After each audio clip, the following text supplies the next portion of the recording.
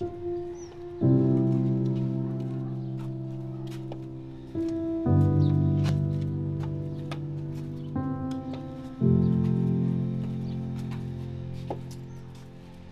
ال 48 والاحتلال يطارد فينا. كنت أنا عمري 12 سنة. كنا فلاحين.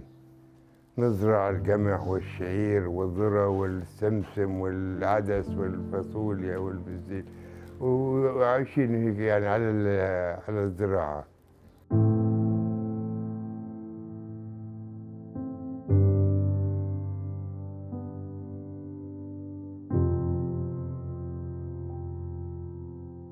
كان الجيش المصري في سدود.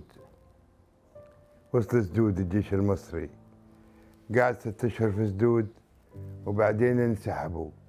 طبعا الناس صار عندها لجة.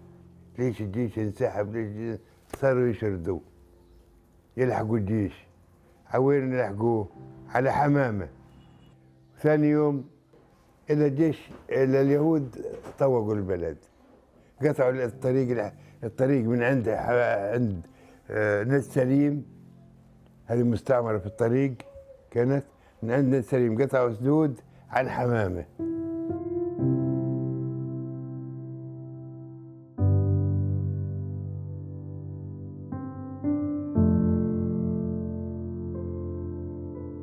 كانوا مهاجرين في البلد في سدود من القرى اللي الجيران اللي هاجروا قبلها من بيت دراس ومن البطاني ومن آه، برقة ومن يبنى ومن عاقر ومن آه، القرى المجاورة. في الليلة اليهود أول ليلة ما خشتش البلد ثاني ليلة صاروا يفروا في البلد قتلوا ثلاثة أنفار. ثاني يوم إلا البسطات جيات وشحن وشحون ومش عارف إيش وصفن. أخذوا الشباب كلهم في, في, في الشحن في باص.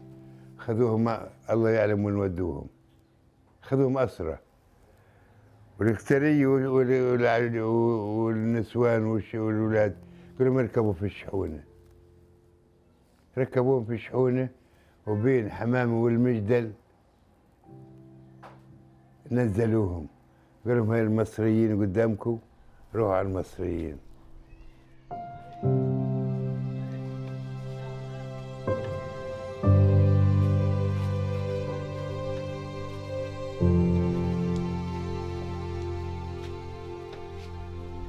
ثاني يوم آه، ثالث يوم أخذوا المجدل. طلعنا على بربرة. من بربرة طلعنا على هربية. ومن هربيا طلعنا على على غزة. أول ما وصلنا غزة ال- الكويكرت كان يساعد يعطي مساعدات يعطي طحين يعطي رز يعطي أواعي اواعي بالي ويعطي من- من جميع الخيرات كثيره الحين أجت ال- الكويكرت راح. أجت الوكالة. الوكالة زي ما أنت شايف. المؤن اللي بتوزعه. كانت تتوزع أول مؤن كويس صارت تقطع منه شوي شوي شوي شوي لحد هالقيت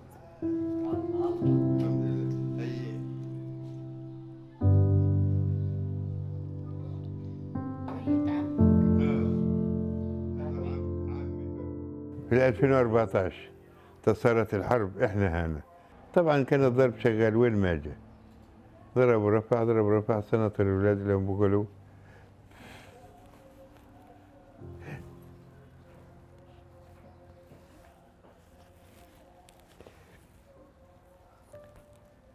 هم بيقولوا ضربوا سليمان انتشفت انتشفت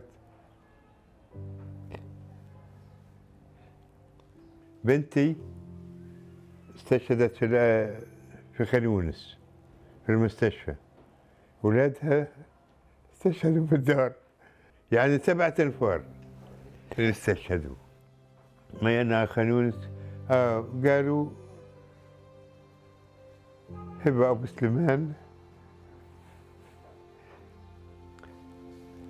ارتفعت إلى الرفيق الأعلى.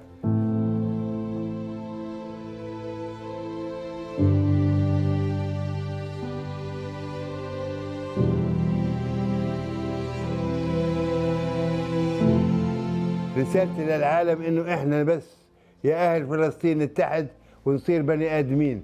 كنا نصير بني آدمين على خط واحد. كنا نعمل لصالح الدولة.